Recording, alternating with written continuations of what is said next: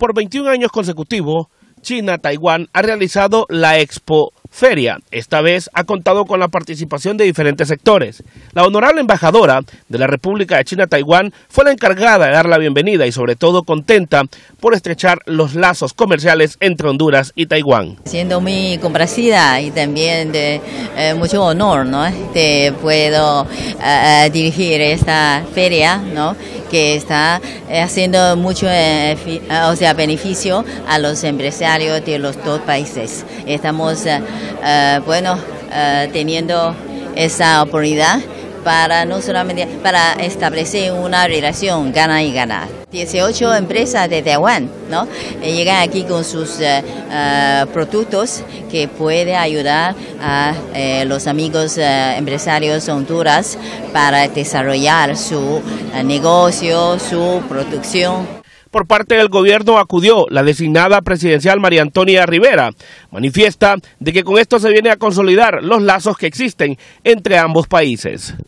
De hace 21 años consecutivos, China-Taiwán siempre dice presente, hace este tipo de exposiciones y sobre todo la interacción entre el sector privado y eh, el apoyo que siempre indiscutiblemente ha brindado China-Taiwán a nuestro país, no solamente en tema de cooperación, sino que en tema cultural, lo que son eh, las capacitaciones, eh, becas, etcétera. Así que le agradecemos infinitamente a China Taiwán por ser un país hermano y, siempre estar de la mano con nosotros.